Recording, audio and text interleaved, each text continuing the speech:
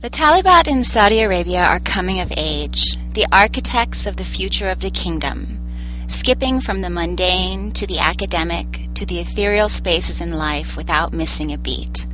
Talib is the Arabic word for student or seeker of knowledge. It comes from the linguistic root for the verb talaba, meaning to look, wish, or claim. The word for a single female student is taliba. Plural is talibat.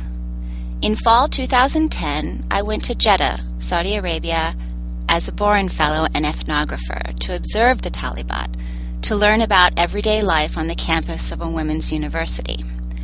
Everyday life is history in the making, moment by moment, unscripted, unedited, lived, real moments.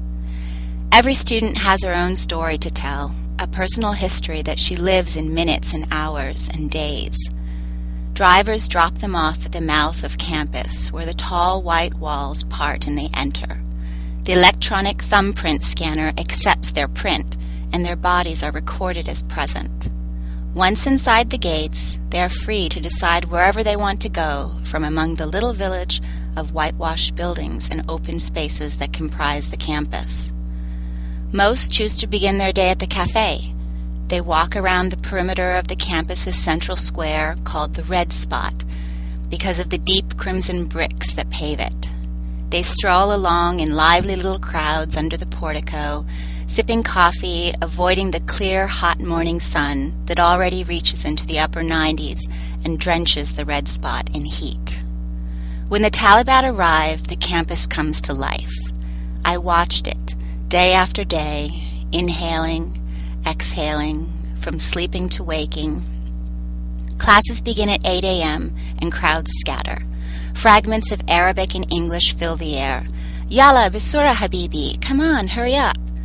Talibat with lattes and frappuccinos in hand walk briskly down the hallways and up the stairs, black abayas billowing in the breeze of their strides.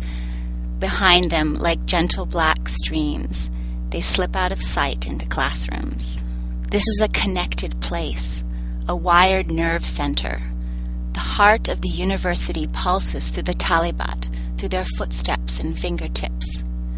Everyday life is the stuff of now and of history, the contradiction of being and becoming, knowing and learning simultaneously. The Talibat are virtuosos of the moment. I watched and listened as they spoke it, performed it, I tried to follow. I observed and I wrote and wrote and wrote.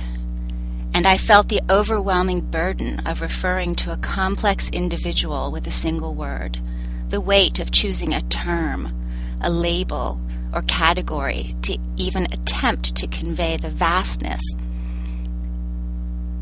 and complexity, as well as the personal uniqueness and elegant simplicity of the young women who allowed me to learn a little about their everyday lives.